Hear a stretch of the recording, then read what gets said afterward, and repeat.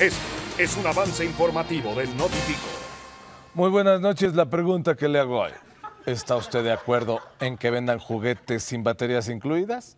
Si dice que sí, marque el número que ya conoce. Pero si dice que no, marque los números que no conoce.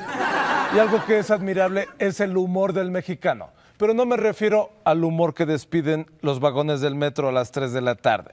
Que mire usted, huele a asiento de chofer de microbús. Me refiero al humor de ponerle apodo a todos. ¿Se acuerda de los policletos? Ahora los policías de la Alameda ya les dicen los policharros.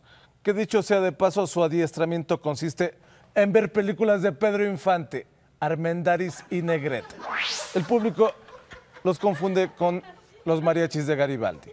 Nada más que en este caso, los que cantan no son ellos, sino usted. Y hay muchas quejas. Pues al terminar la jornada, mire usted, no limpian sus gracias, pero no de los caballos, sino de los policharros, que aunque sí les pusieron baños portátiles, no los usan, porque dicen, mire usted, que los caballos no caben. Y otra queja, pero ahora de los Santa Clauses y Reyes Magos que están en la Alameda con motivo de las fiestas decembrinas. Que los niños prefieren tomarse la foto con los policharros.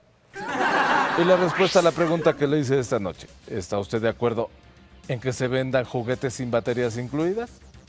Se recibieron 5 mil llamadas, todas diciendo que no, que es mejor que vendan baterías con los juguetes incluidos.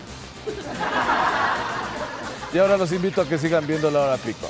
Y ya picados como siempre, nos quedamos todos nosotros también.